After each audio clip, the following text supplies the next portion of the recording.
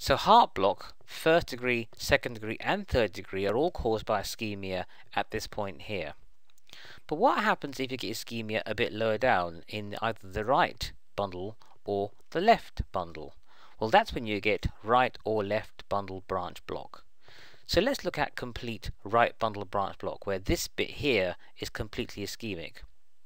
In that situation, the wave will go down the left bundle first and depolarize the left ventricle which will contract, and after delay, the wave will travel across the septum from the left to the right, and you'll get a delayed right ventricular contraction. What that means is you'll see in the ECG two R waves in some leads. First, the R wave of the left ventricle, and then the R wave of the right ventricle. And these slightly displaced R waves make the complex look quite broad. So, in complete right bundle branch block, this is ischemic, and so the wave travels down the left hand side first.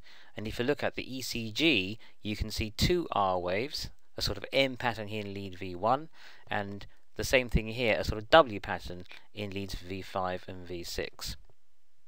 So that's complete right bundle branch block. Incomplete left bundle branch block, the block is here, so the wave will travel down the right ventricle first. What this means is the travel, wave will travel into the right ventricle and will give you a W pattern here in lead V1. So it's down, up, down, up. If I can convince you there are two S waves there. And on the other hand, in lead V5, it's easier to see the M pattern, the up, down, up, down. looks a bit like an M in leads V5 and V6 just about. So to summarize, bundled branch block, in lead V1 you'll see a W pattern, down, up, down, up, and in lead V6 you'll see an M pattern, up, down, up, down, and similarly in right bundle branch block in lead V1 you'll see an M pattern, up, down, up, down in lead V1, and down, up, down, up in lead V6. How do you remember this? Left bundle branch block with William and right bundle branch block with the word marrow.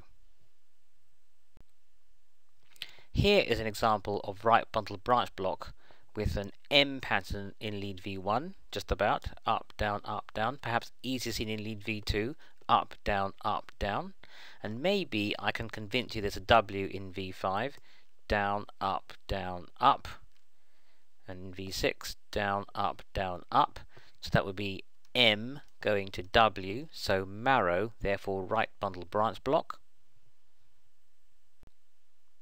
And in this ECG, where there's broad complexes, this is left bundle branch block, can I convince you that there's a W here, down, up, down, up, a little notch just about there.